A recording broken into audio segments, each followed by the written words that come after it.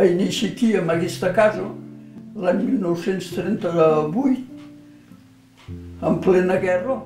Jo que tenia vuit dies i, i ja es van haver d'escapar cap avall, per aquí que, cap avall que hi ha els horts, hi ha unes roquerals, i, la gent quan sentiven l'aviació corriven cap avall a amagar-se sota els roques perquè es pensaven que farien caure les cases i els enterrarien. I sé que la meva mare diu que tenia vuit dies i mira, em va agafar jo el braçat i cap avall. I acabat, no ho sé, devem tornar cap a casa i mos van fer anar cap a l'Aragó. Amb un camió d'aquestos dels soldats mos van carregar cap a l'Aragó.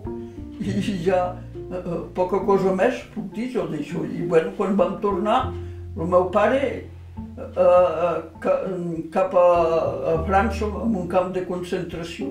I jo diu que em van criar amb tupinets de marro del cafè. Anaven a buscar el marro dels soldats i el feien bullir i llavors hi ficaven una mica de pa i sucre i au i culleradetes d'allò perquè mal alimentada la meva mare quina llet deguera fer. Mira, i si és que tan aviat que van poder eh, donar alguna per, per fer sobreviure. Mira, córrer per aquests carrers, joguines no en teníem cap, no havia vist mai cap nina ni, ni cap joguet de recasa.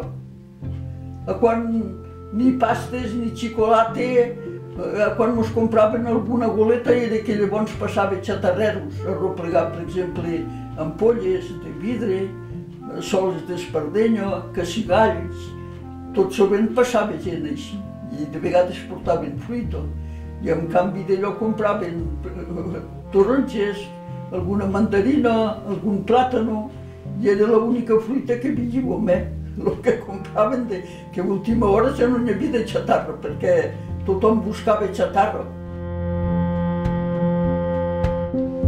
Va durar uns anys que no en teníem mai cap de fixa de mestre. En venia una, no li agradava, marxava.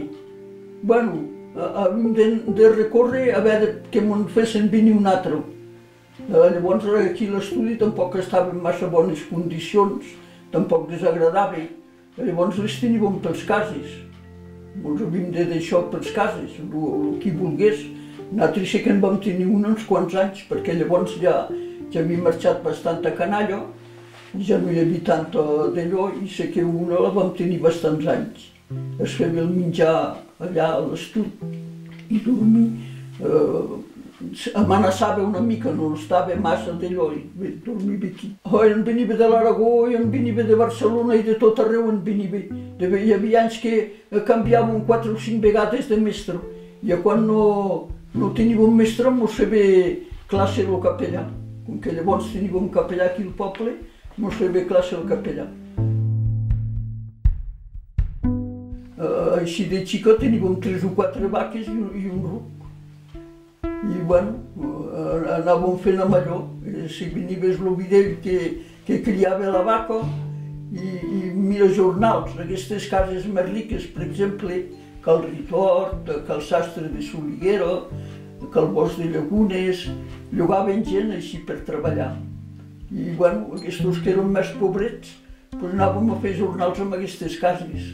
I llavors també feia llenya, eh, d'on podíem, i com que havíem d'anar caminant cap a Sort, doncs antes de marxar cap a Sort, el, dia de mercat, agafaven l'animal i, i cap allà, cap allà al rebollar, fer una cargueta de llenya i cap a Sort, amb el, amb el macho carregat, que tenia bé macho, macho. I, i amb aquella mica de llenya que veníem, llavors no hi havia calefaccions i tot això, i a Sort la gent, tothom més o menys comprava una mica de llenya. I amb aquella miqueta de d'allò anàvem comprant, anàvem comprant que si un quilet de sucre, un quilet d'arròs, un quilet de sopa, i així anàvem fent. Bastant destrossats eren, eh? I ara últimament eren destrossadors, jo no sé si van quedar destrossats llavors per la guerra, no sé com va anar això. I, i també com les van fer aquests búnkers en tan poc temps. Bueno, eh, que anaven cap allà baix a Saverneda a buscar xis i d'això, amb els animalots que, de la gent que van fer marxar, les bèsties que van quedar per aquí, els deven fer servir per, eh, mira, pel seu ús que volien. És que potser no m'ho deixaven anar perquè a la millor si hi havia bales, perquè després de la guerra tot arreu hi havia bales i, i inclús canalla que, que sabien, mira, aquella nena, la Conxita del Magí, es va tallar les mans jugant amb una bala a baix al carrer, a la nostra porta. O sigui, li falta dos dits d'aquí de la mà. Trinxeres, aquí dalt al nostre prat n'hi havia una de trinxero. Eh, eh, feia una redona així, era una trinxera. Així bastant, potser com aquesta taula, eh? I bueno, així que ho hem anat conreant, la trinxera l'hem tapat. Però sí que hi havia una trinxera, sí. Allà dalt d'on ara té la caseta el nen, hi havia que fa una redona així, eh, era tot una trinxera. per exemple, jo tenia 14 o 15 anys que van començar a marxar la gent. O per què? Perquè aquí no hi havia gaire medi de vida. No, no veig que aquí munyíem una mica i, i amb el que feves de la llet tampoc podies viure gaire. La gent, pues, tothom s'hi va anar espavilant. Cap a Barcelona, els uns de porters, els altres més que reporters. Tots, tots van anar marxant així en porteries. És que quan van marxar la gent no tornaven. Va passar uns anys que no tornaven cap aquí al poble. Perquè tampoc penso que no, no donaven tantes vacances i tot això. I, i bueno, ara així és que d'això han anat tornant, s'han anat arreglant la casa bueno, mira, estem contents que tornen. Ens vam quedar aquí perquè vam ser covards, no vam ser decisius per sortir.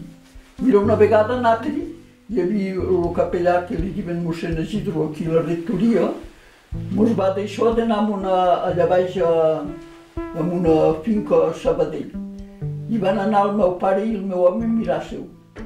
Però diu que era molt apartat d'així de, de la ciutat i així, i el meu home encara no tenia bé carneta, llavors no, no els va agradar i ja, ja ho vam descartar, ja no... I, i mai més, mai més vam mirar de, de, de sortir ni, ni d'anar enlloc. Mira, ens vam aposar aquí i aquí vam estar.